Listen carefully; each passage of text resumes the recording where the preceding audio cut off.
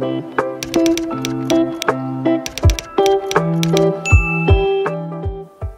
chào tất cả các bạn gái xinh đẹp của Digitech.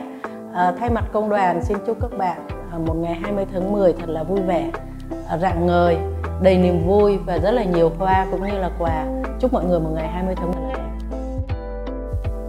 Nhân dịp 20 tháng 10, đại diện các anh em chúc gửi lời chúc toàn thể các chị em phụ nữ Digitech à, những lời chúc tốt đẹp nhất, ý nghĩa nhất chúc tất cả mọi người ngày càng xinh đẹp, rạng rỡ, hạnh phúc và nhiều điều tuyệt diệu hơn và đặc biệt thành công trong công việc và cuộc sống. Happy Women's Day!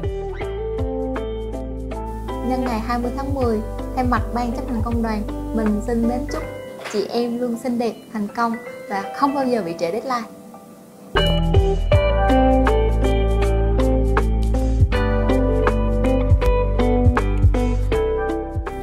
Tự hào là phải đẹp. Của Digitech Việt Nam